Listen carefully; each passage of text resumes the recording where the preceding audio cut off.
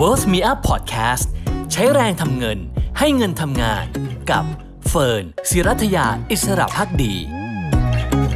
สวัสดีค่ะ ต้อนรับเข้าสู่ Pocket Idea ความรู้ฉบับกระเป๋านะคะ ใน Wealth Me Up Podcast ค่ะ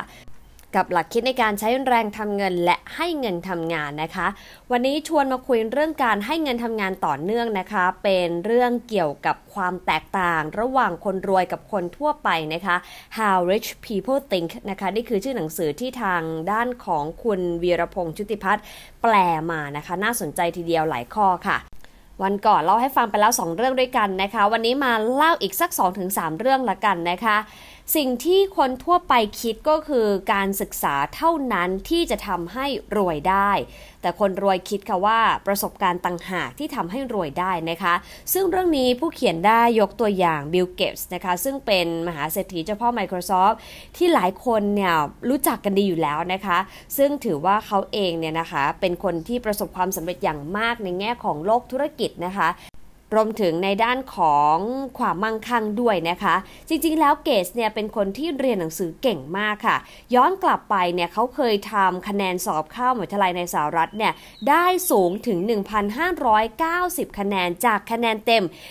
1,600 คะแนนนะคะ แล้วก็คะแนนระดับนี้เนี่ยน่าจะมีนักเรียนอเมริกันแค่ 1 ใน 10,000 คนนะคะที่สามารถทำได้ ก็แปลว่าเขาเนี่ยเป็นคนที่มีสมองที่เฉียบคมมากเลยนะคะคะแนนแบบนี้ก็เลยทำให้เขาสามารถสมัครเข้าไปเรียนที่ Harvard ได้นะคะ ซึ่งถือว่าเป็นหนึ่งในมหาวิทยาลัยที่ดีที่สุด ตามที่เขาตั้งใจไว้แหละ แต่ว่าก่อนที่เกตส์จะเข้า Harvard ค่ะ เขามีประสบการณ์ทางคอมพิวเตอร์มาตั้งแต่อายุ 13 ปีแล้ว กับเพื่อนของเขานะคะก็คือพอล อัลเลนค่ะ ซึ่งต่อมาก็กลายเป็นหนึ่งในมหาเศรษฐีแล้วก็หนึ่งในผู้ถือหุ้นใหญ่ของ Microsoft นั่นเองค่ะ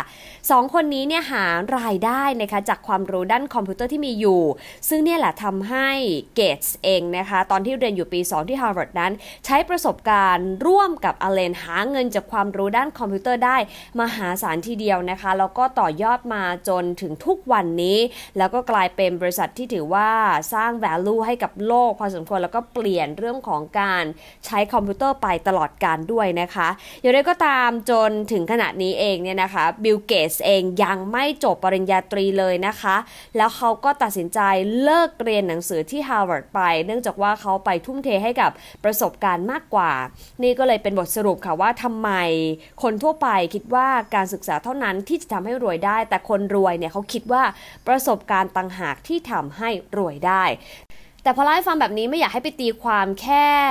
มิติใดมิติเดียวนะคะ ว่าเอ้ย ต้องเรียนไม่จบถึงจะสามารถประสบความสำเร็จได้เลยแบบนี้ไม่ใช่นะคะฟันว่าหลายคนที่เรียนหนังสือจบนะคะ แล้วก็เรียนเก่งได้เกียรตินิยมนะคะ หรือว่าเรียนกลางๆ หรือแม้แต่คนเรียนไม่เก่ง แต่ว่าอดทนตั้งใจจนเรียนจบมาวิทยาลัยเนี่ยก็ประสบความสำเร็จได้ด้วยเช่นเดียวกันค่ะเกสเอ็นอาจจะเป็นเพียงหนึ่งในไม่กี่คนนะคะ ที่เขาสามารถสร้างประสบการณ์ได้สูง แล้วก็ทำให้ ทุกอย่างเนี่ยนะคะประสบความสำเร็จได้โดยไม่จำเป็นต้องพึ่งการศึกษาภาคบังคับ ใช้คำนี้ดีกว่า แต่ถามว่าเกสเป็นคนที่เรียนรู้หรือเปล่าคำตอบคือใช่นะคะ เพราะอย่างที่ดู Netflix อะคะ่ะที่เป็นสารคดีเกี่ยวกับเกสเนี่ยเขาก็ชัดเจนทีเดียวเป็นคนชอบอ่านมากนะคะ ไม่ว่าจะไปไหนเขาก็จะมีหนังสือนะคะพกติดตัวไปเสมออย่างน้อยๆ3-5 เล่มด้วยกัน แล้วเขาก็จะอ่านหนังสือตลอดเวลานะคะ เพื่อเป็นการเรียนรู้ดังนั้นเฟินว่า ในมิตินี้น่าจะหมายถึงการศึกษาภาคบังคับต่างหากนะคะ ที่อาจจะทำให้คนทั่วไปคิดว่า การศึกษาภาคบังคับเท่านั้นแหละที่ทำให้รวยได้ แต่คนรวยคิดว่าประสบการณ์ต่างหากที่ทำให้รวยได้ ซึ่งประสบการณ์ดังกล่าวก็เกิดจากการเรียนรู้และลงมือทำนะคะ ไม่ใช่แค่ลงมือทำอย่างเดียว โดยไม่มี principle หลักการพื้นฐานแต่อย่างใดนะคะเป็นประเด็นแรก ส่วนเรื่องต่อมาที่ทำให้คนรวยต่างจากคนทั่วไปนะคะก็คือ คนทั่วไปเนี่ยมักคิดถึงวันเก่าๆค่ะ แต่ว่าคนรวยเองมักคิดถึงอนาคตค่ะเรื่องนี้อยากจะเล่าให้ฟังถึงสตีฟ จ็อบส์นะคะ ที่ทางดรวีรพงษ์ชติพัฒน์เนี่ยยกตัวอย่างมาค่ะ บอกว่าเป็นคนที่ทุกคนรู้จักกันดีนะคะ โดยเฉพาะใครที่ใช้ iPhone แล้วก็เป็นสาวกของ Apple นะคะ ซึ่ง iPhone เนี่ยก็เป็นโทรศัพท์ที่มียอดขายทำลายสถิติโลกครั้งแล้วครั้งเล่านะคะ แล้วก็ เป็นตำนานที่ยิ่งใหญ่ด้านนวัตกรรมของ Steve Jobs ทีเดียวนะคะ อย่างไรก็ตามถ้าย้อนกลับไปนะคะ Jobs เองเนี่ยเป็นเด็กกำพร้าค่ะ เขาเติบโตมาด้วยการเลี้ยงดูของครอบครัวบุญธรรม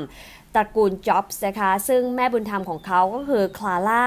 สอนให้เขาเนี่ยอ่านหนังสือ และเขาเองก็อ่านหนังสือได้ก่อนที่จะเข้าโรงเรียนอนุบาลซะอีกนะคะ ส่วนพ่อบุญธรรมที่ชื่อว่าพอลเนี่ยก็ชอบสอนเขาเกี่ยวกับอิเล็กทรอนิกส์ค่ะ แม้ว่าเขาจะประสบความสำเร็จในด้านของการอ่านการเรียนรู้ได้เร็วนะคะ แต่ว่าในเรื่องของการเข้าสังคมเองเนี่ยสตีฟ จ็อบส์เนี่ยค่อนข้างที่จะมีปัญหากับเพื่อนที่โรงเรียนตั้งแต่เด็กจนโตแล้วนะคะ และเขาก็มักจะทิ้งการเรียนวิชานั้นๆ ทันที ถ้าเขาคิดว่ามันไม่ใช่ตัวเขา และเขาก็ไม่เคยสนใจอดีตเลยค่ะ แต่ความคิดของจ็อบส์เนี่ยมุ่งตรงไปยังอนาคตเท่านั้นนะคะ ซึ่งย้อนกลับไปนะคะ เขาก็ถือว่าเป็น CEO ที่ประสบความสำเร็จอย่างมากทีเดียว ก่อนที่จะไปดึงคนที่ชื่อว่าจอห์นสกาลีนะคะซึ่งเป็น CEO ของ PepsiCo เนี่ยมาเป็น CEO ของ Apple ค่ะ ด้วยประโยคที่เขาชวนเขาบอกว่าคนจะใช้เวลาที่เหลือของชีวิตเนี่ยไปกับการขายน้ำหวาน หรืออยากจะได้โอกาสเปลี่ยนแปลงโลกใบนี้นะคะ แต่ไม่นานค่ะประมาณสักไม่ถึง 7 ปีดีนะคะสกาลีแล้วก็กรรมการของ Apple ที่เขาเป็นคนเลือกเข้ามาเนี่ย ตัดสินใจปลดสติปจ็อบจากการเป็นผู้บริหาร ซึ่งก็ถือเป็นการปลดถูกปลดนะคะจากบริษัทที่เขาตั้งขึ้นมาเอง กับคนที่เขาชวนเข้ามาทำงานเองด้วยค่ะ แต่เขาก็ไม่ได้หยุดอยู่กับสิ่งที่ผิดหวังในอดีตนะคะ เขาเองก็สามารถที่จะไปต่อยอดความรู้ผ่านนวัตกรรม แล้วก็ในการทำงานกับองค์กรต่างๆ มากมายทีเดียวนะคะ จนกระทั่ง 10 กว่าปีหลังจากนั้นก็กลับมาเป็นผู้บริหารของ Apple อีกครั้งหนึ่งนะคะ ซึ่งแน่นอนว่า Jobs เองเนี่ยก็ยังไม่หยุดคิดเรื่องของนวัตกรรมในอนาคตเท่านั้นนะคะ เพราะว่าเขาเริ่มจากการนำเสนอ iPod ก่อน แล้วก็มีเรื่องของเปิดตัว iTunes Store นะคะ และก็ทำให้ จ็อบส์เองกลับมาพังงาดได้อย่างยิ่งใหญ่ครั้งใน Apple บริษัทที่เขาตั้งขึ้นแล้วก็ถูกปลดออกและถูกเชิญเข้ามาทำงานใหม่อีกครั้งนั่นเองนะคะ นั่นก็เลยเป็นมิติที่น่าสนใจกับคนที่ เป็นคนประสบความสำเร็จ เป็นคนที่มีฐานะที่มั่นคงนะคะ แล้วก็มั่งคั่งว่า เขาไม่ค่อยไปยึดติดกับวันคืนเก่าๆ ทั้งดีและไม่ดีนะคะ แต่เขาตัดสินใจที่จะ move on กับสิ่งที่กำลังจะเกิดขึ้นในอนาคตมากกว่า แม้ว่าเขาจะประสบความล้มเหลวในบางจังหวะของชีวิตก็ตาม พวกเราก็เหมือนกันนะคะเฟินเชื่อว่าไม่มีใครดำเนินชีวิตแบบราบเรียบโดยไม่มีปัญหานะคะ เพียงแต่ว่าเราเองจะสามารถจัดการกับปัญหาแล้วก็มองปัญหานั้นในมิติไหนมากกว่า ตัวฟันเองก็เคยประสบเหตุกับสิ่งที่ไม่คาดฝันในแง่ของการทำธุรกิจ มาครั้งใหญ่ ๆ ครั้งหนึ่งเหมือนกันนะคะ ซึ่งก็ทำให้เราเป๋เหมือนกันนะไปไม่เป็นนะคะ ด้วยการเปลี่ยนแปลงของธุรกิจดิจิทัลนะคะ แล้วก็ด้วยเรื่องของโลกออนไลน์ที่เข้ามา disrupt นะคะ ซึ่งก็ทำให้คนที่ผลิตสื่อ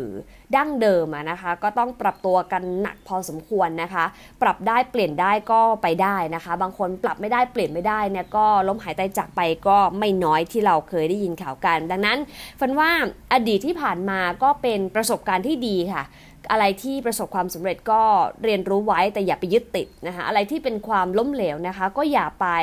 จมปลักอยู่กับสิ่งที่มันผ่านไปแล้วฟันว่านี่คือสิ่งสำคัญของ entrepreneurship หรือว่าบรรดาผู้ประกอบการที่จะสามารถฟันฝ่ากับทุกวิกฤตไปได้เช่นเดียวกับโควิด -19 ครั้งนี้นะคะ ที่แม้ว่าวิกฤตนี้ยังไม่จบนะคะ เรายังเห็นบริษัท เล็กใหญ่มากมายที่ทยอยประกาศล้มละลาย เข้าสู่กระบวนการฟื้นฟู ปิดกิจการ แล้วก็มีผู้คนตกงานมหาศาล ซึ่งฝนว่านี่เป็นระลอกแรกๆเท่านั้นเอง เราอาจจะต้องเจอมากกว่านี้นะคะ โดยเฉพาะถ้าใครทำธุรกิจเอง ครั้งนี้น่าจะเป็นครั้งที่ใหญ่ที่สุดนะตั้งแต่เปิดบริษัทมาของหลายธุรกิจทีเดียวนะคะ ก็เป็นกำลังใจให้นะคะให้กับทุกวิกฤต ให้ทุกคนหาโอกาสให้เจอเสมอนะคะ ด้วยสตินะคะที่มั่นคงแล้วก็วิสัยทัศน์ละกันเนาะที่เราจะสามารถพลิก วิกฤตให้เป็นโอกาสได้ แล้วก็ไม่ไปจมปลักกับอดีตอย่างเช่นที่คนรวยทำกันนะคะ วันนี้อ่านย้ำอีก 2 ข้อนะคะก็คือ 1. คนทั่วไปคิดว่าการศึกษาเท่านั้นทำให้คนรวยได้ แต่คนรวยคิดว่าประสบการณ์ต่างหากทำให้รวยได้ ซึ่งเฟิร์นเชื่อนะคะว่าประสบการณ์ต่างๆ ก็ต้องเป็นการเรียนรู้ตลอดชีวิตด้วย เช่นเดียวกัน lifelong learning นะคะ 2 ก็คือคนทั่วไปมักคิดถึงวันเก่าๆ แต่คนรวยคิดถึงอนาคตค่ะ ดังนั้นเรามาหาประสบการณ์จากการเรียนรู้ และมาเริ่มต้นอนาคตกันใหม่ดีกว่านะคะ เพื่อจะได้ก้าวสู่ฐานะของความมั่งคั่งไปด้วยกันนะคะ วันนี้ขอบคุณที่ติดตามการ Pocket ไอเดียความรู้ฉบับกระเป๋าลาไปแล้ว สวัสดีค่ะ